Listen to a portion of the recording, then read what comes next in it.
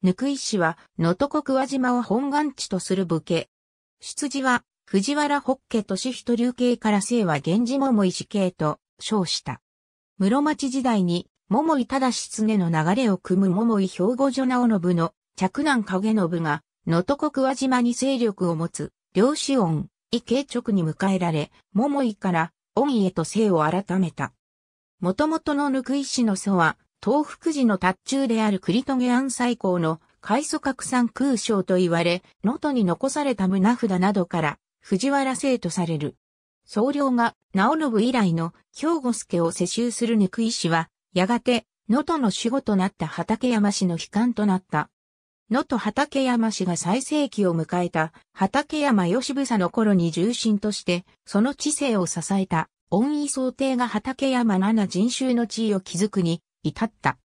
その七人衆での権力闘争に陥ると、性的、ユザ族光を一時的に退けて、筆頭となったことで、かえって疎まれた、想定は、今度は、主権回復を目論む、畠山義綱による上位打ちに遭い、命を失った。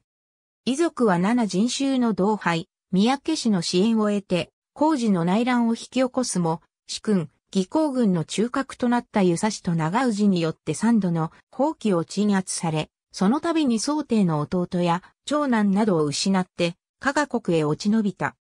やがて主君の義族、義行府氏を国外追放した湯佐続公と和解し、能登へ帰参したが、王子の威勢を取り戻すには至らなかった。太一族の生き残った者の一部は、上杉謙信らに仕えて、米沢藩士となって、明治維新まで残った。